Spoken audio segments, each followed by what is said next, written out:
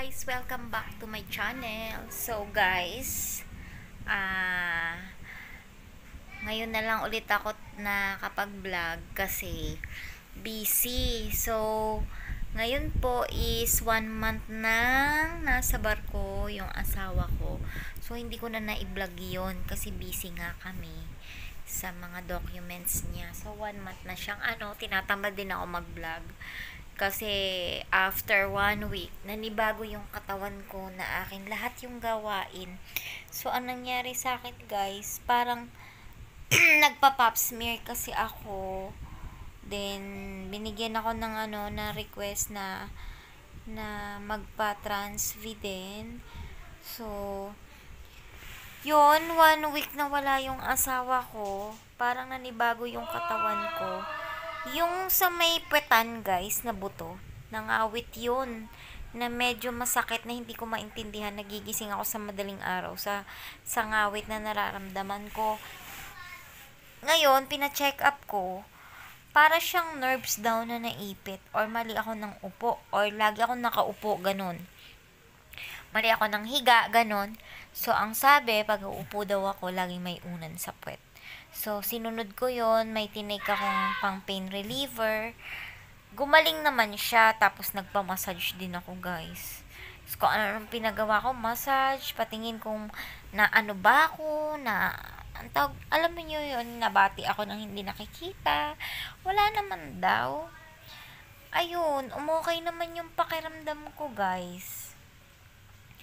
Parang wala naman ako nararamdaman na kakaiba. Tapos, grabe talaga guys, yung pakiramdam ko nun. Para ako natatain na naiihi na hindi ko maintindihan. As in talagang sabi ko sa sarili ko, parang may iba talaga, may iba sa akin.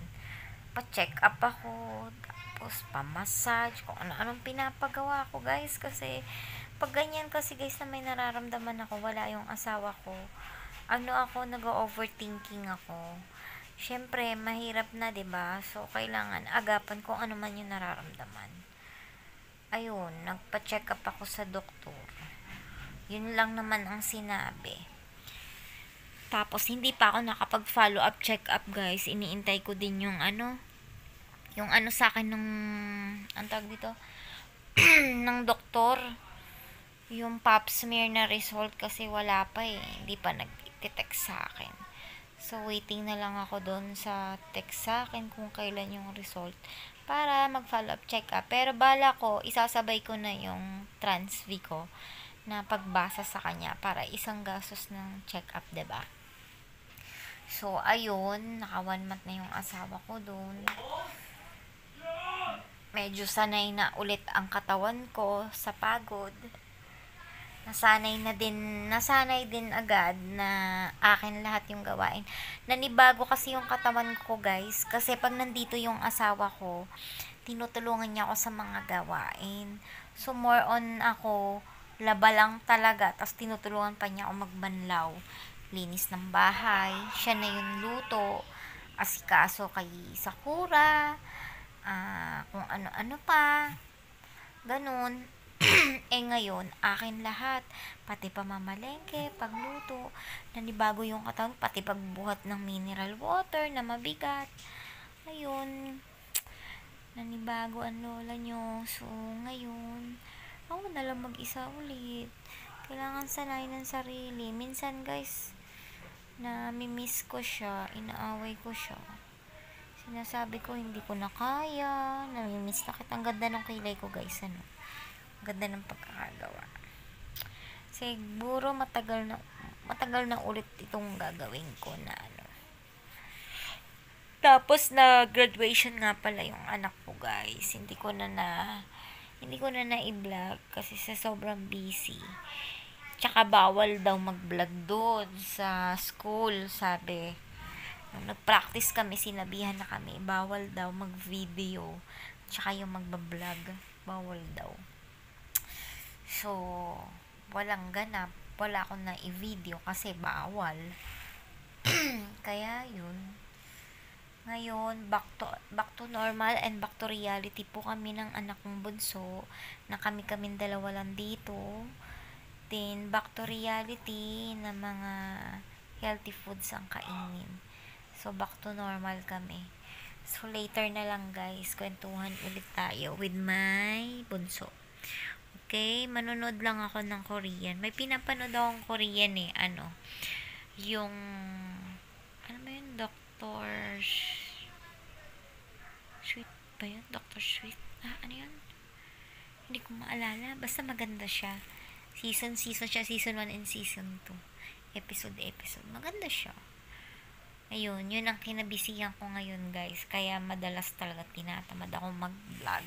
Mas gusto ko manood. Ayun. So, see you later guys. Kasi mamaya magdadasal naman kami. So, mamaya na lang ulit. Ha? Pag hindi ko kayo nakalimutan. Okay. Ay, nako guys. Nakakamiss ano. Mahirap pag mag-isa. Later na lang.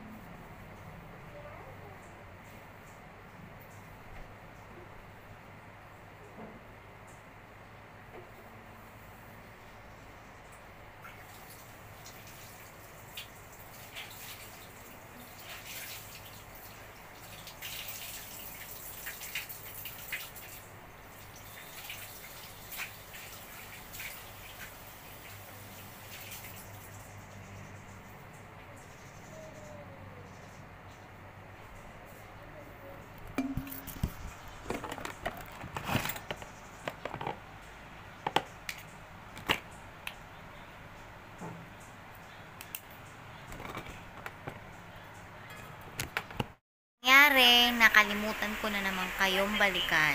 So, ngayon is another day na. Tanghali na po. Nakapaglinis na ako ng, ng kusina, ng bahay, ng bakuran. Ngayon naman, nagpapaandar ako ng motor. Tapos later, maglilinis ako ng electric fan namin na isa. So, isa-isa muna lang. Isa-isa-isahin ko na lang muna yung paglilinis ng fan. Kasi, hindi pwedeng sagad-sagad ang gawa ko. Kasi, pag napagod ako, nilalagnat ako. So, ayun. Nakalimutan ko na naman kayo, guys. Nagpa-check up pala ako kahapon, guys. Doon sa result ng lab chem ko. Sa follow-up check up ko. Normal naman lahat. Very good daw ang aking mga ang aking mga result. Maganda daw. So, yun. Pinababalik ako ng September. Hindi dahil doon sa mga sa mga naki, wala namang nakita kasi sa akin na may mataas.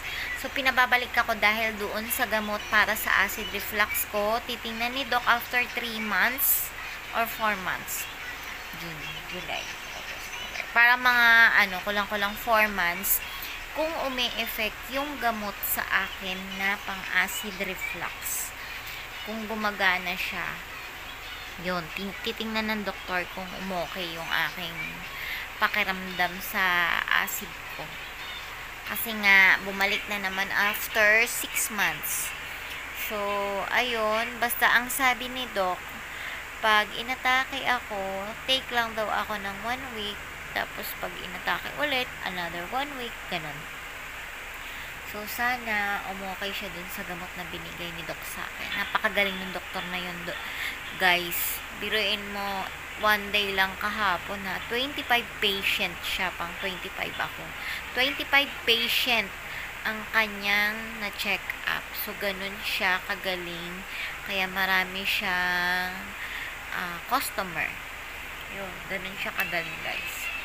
So, yun. Sana umukay na yung ano. Basta, guys, pag yon nagbigay sa akin ng gamot, gumagaling talaga ako. So, napakagaling talaga nun. So, ayun. Later, guys, may magkikilos na naman ako. Tapos kakain, sisimba, ayun, plancha ng uniform ng anak ko. Ayun, may mga konting pahinga, pero hindi ko din alam. Nandito lang naman ako sa bahay, hindi na uubos ang gawain. Sus. 'Di ba? So, ayun. Sa susunod na lang ulit na vlog, ah, tatapusin ko na to kasi yung nakaraang karugtong nito, nung nakaraang araw pa to. So, see you on my next one vlog, guys. Ingat kayo palagi and be good. Magdasal palagi. Bye-bye. Mwah.